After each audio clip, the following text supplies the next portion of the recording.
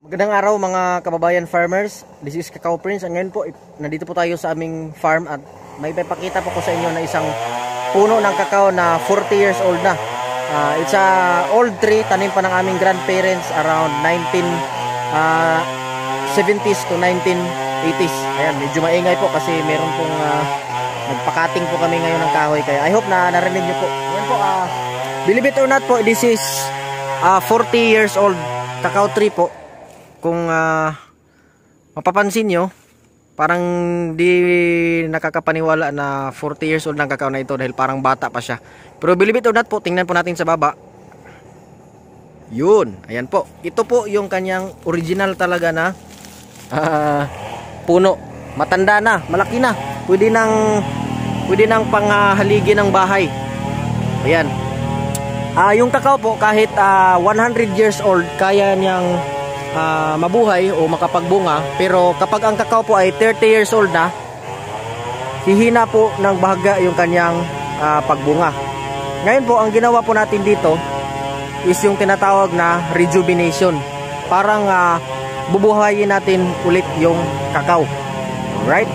So ang ginawa po natin dito 3 years ago yung ah, original na puno, meron pa ito ditong maraming sanga. Malaki talaga to, ah, matangkad na. And ah, merong lumabas na yung kanyang sucker o yung parang ah, salingsing niya. So ginawa namin, pinatuloy namin ito. Pinatuloy namin at nung lumaki na ah nung nagsisimula na siyang mamulaklak eh pinutol na yung original na ah, puno. Yung matanda na na branches na hindi na bumubunga ng maayos o mahina ng bumunga. So ngayon, ito na siya, malaki na siya at ngayon nakapagbunga na. Kung titingnan natin yung bunga niya, ayan, medyo marami-rami na. Ayan, meron pa dito. At ngayon nga, may hinog pa eh. So, kukunin natin yung hinog ngayon dahil uh, mag-harvest din tayo. So, yan po. Kung meron po tayong mga matatanda na ah, puno ng kakao, ah, wag po nating ah, putulin tapos papalitan ng bago. Ang gagawin po natin dan yung tinatawag na rejuvenation. Okay? So, marami pong paraan yung pag-rejuvenate. Isa lang po ito. Yung patuloyin yung isang ah, sucker or shoot. Tapos kapag mamumulaklak na siya, pwede nang tanggalin yung matanda na puno. Pwede din yung tinatawag na side grafting. Ayan. Pwede tayong mag side graft dito sa puno ng kakao. Pwede kahit ibang variety yung gamitin. So kahit ibang variety yung matanda na puno, pwedeng mapalitan ng bagong variety. Pero ito, hindi po namin ito gi-side graft dahil ah, sinubukan po talaga namin na ma-rejuvenate siya through sucker. Ayan. Para ma-maintain yung kanyang original pa din na ah, variety.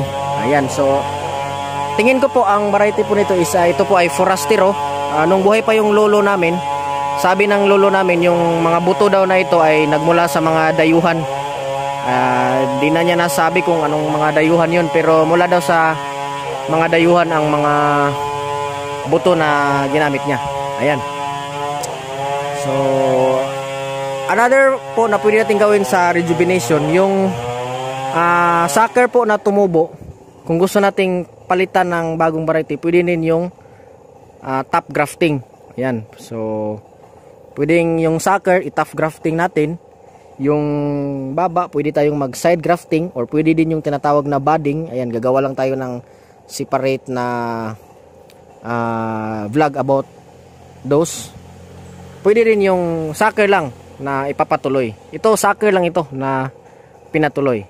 Ayan, so ngayon dahil ah, bumubunga na siya, ah, this ah, this new branch na fruiting will be considered na parang bago na siya ulit na puno. Kaya ito, it will be again fruitful in the next ah, 20 to 30 years. And then after those years, matagal pa yon pero pwede pwede na ulit yun eh, side graft na naman or same process ganito pa rin sucker. Pwede din yung top grafting. Actually, meron pa kaming ibang puno dito. Ayan, so ipapakita ko sa inyo yung iba pang puno. Ayan, so meron pong link dyan sa description sa part 2 ng video na ito. May ipapakita pa ako na iba pang puno na matanda na rin tapos i-rejuvenate po natin. Ah, same pa din kasama nito mga 40 years old pa din.